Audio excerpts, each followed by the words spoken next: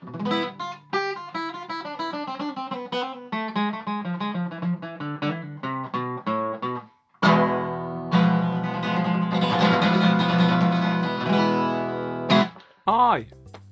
Remember me? It's Kris from Mac Makes Music.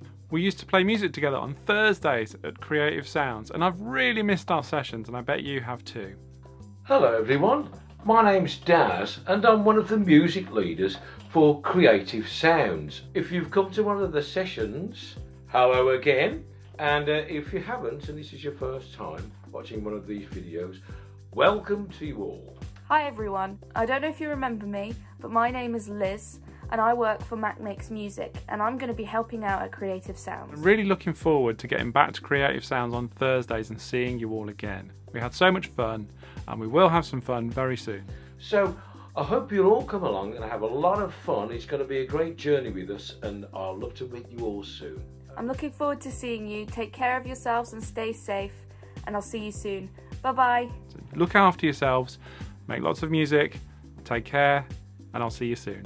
Okay, take care, bye bye.